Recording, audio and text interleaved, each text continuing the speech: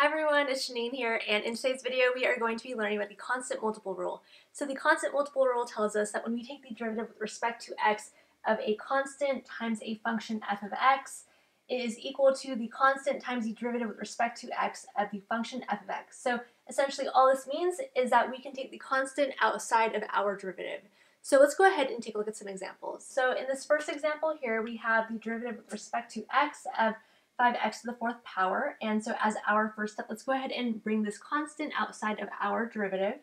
So we have 5 times the derivative with respect to x of x to the fourth. And so we can use the power rule to determine what this derivative is equal to here. And so we bring down the exponent. So we have times 4, x, and then we're going to subtract 1 from our exponent. So 4 minus 1 is equal to 3. And so we have 20 x cubed. In this next example here, we have the derivative with respect to x of negative 3x to the fifth power. And so as our first step, we're going to go ahead and bring this constant outside of our derivative.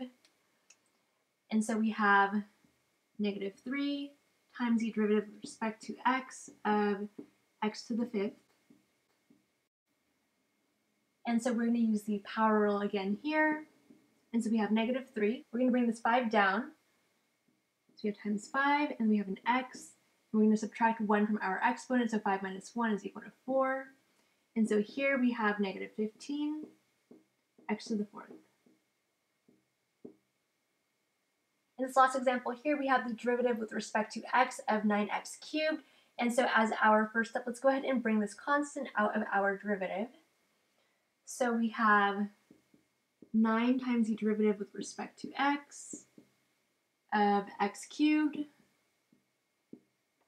And we have 9, and then we're going to use the power rule to determine what this derivative is equal to. So we're going to bring this exponent down. So we have 8 times 3, and then an x, and then we're going to subtract 1 from our exponent. So 3 minus 1 is equal to 2. So here we have a 27 x squared.